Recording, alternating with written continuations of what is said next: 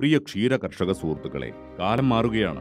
അനുദിനമുണ്ടാവുന്ന ഈ മാറ്റത്തിനൊപ്പം നമ്മുടെ ക്ഷീരരംഗവും വലിയ മാറ്റങ്ങളിലൂടെ സഞ്ചരിച്ചുകൊണ്ടിരിക്കുകയാണ്. പൂർണമായും കമ്പ്യൂട്ടർവൽക്കരിച്ച ഹൈടെക് ഡയറി ഫാമുകൾ ഇന്ന് നമ്മുടെ രാജ്യത്ത് വ്യാപകമായി കൊണ്ടിരിക്കുന്നു. ഈ ഹൈടെക് ഡയറി ഫാമിലെ എല്ലാ കറവമാടുകളുടെയും കഴുത്തിൽ ട്രാൻസ്പോണ്ടർ ഘടിപ്പിച്ചിട്ടുണ്ടാവും. ഇതിലൂടെ പശുവിന്റെ പ്രായം ഭാരം പാലുൽപാദനം ആവശ്യമായ തീറ്റയുടെ അളവ് എന്നിവ കമ്പ്യൂട്ടർ വഴി മനസ്സിലാക്കാം. തീറ്റ നൽകുവാനായി ടോട്ടൽ മിക്സഡ് റേഷൻ സിസ്റ്റം അഥവാ ടി എം ആർ സിസ്റ്റമാണ് പ്രവർത്തിക്കുന്നത്. ട്രാൻസ്പോണ്ടറിലൂടെ ലഭിക്കുന്ന വിവരമനുസരിച്ച് പശുവിന്റെ തൂക്കം ഉൽപാദനക്ഷമത എന്നിവയ്ക്ക് അനുയോജ്യമായ അളവിൽ തീറ്റപാത്രത്തിൽ തീറ്റ നിറയും. അതാണ് പശു കഴിക്കുക. വെള്ളം കുടിക്കാൻ ഓട്ടോമാറ്റിക് വാട്ടറിംഗ് സിസ്റ്റം ഉണ്ടാവും. ചാണകം വാരി മാറ്റാൻ മിനക്കിടേണ്ടതില്ല.